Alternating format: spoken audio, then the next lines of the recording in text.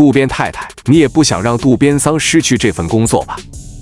调侃归调侃，渡边雄太与未婚妻久慈小子的感情还是让很多人羡慕。前者是 NBA 的拼命三郎，靠自己的活力与拼劲赢得篮网队轮换位置的一席之地；后者是日本知名女演员和模特，不久后便是渡边雄太的贤内助。久慈小子不久前更新社交媒体，晒出多张自己在篮网队主场观战的照片，其中有与杜兰特的合影，还配文。凯文·杜兰特选手和我拍了张照片，非常感激你的友善。作为日本知名女演员和模特，久慈小子在今年五月底宣布与渡边雄太订婚。她曾透露自己是在2019年篮球世界杯前的采访中认识渡边雄太，然后在东京奥运会结束后正式交往。一开始还会趁休假飞往加拿大见渡边雄太。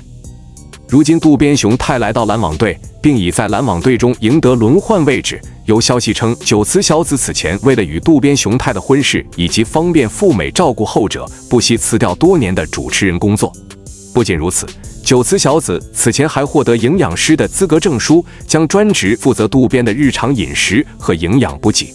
别看渡边雄太本赛季领着无保障底薪合同，但据悉算上各种品牌代言，他的年收入高达六亿日元，追梦路上有经济来源保障。加上未婚妻的悉心照顾以及个人的刻苦努力，难怪渡边雄太本赛季能打出让人印象深刻的出色表现。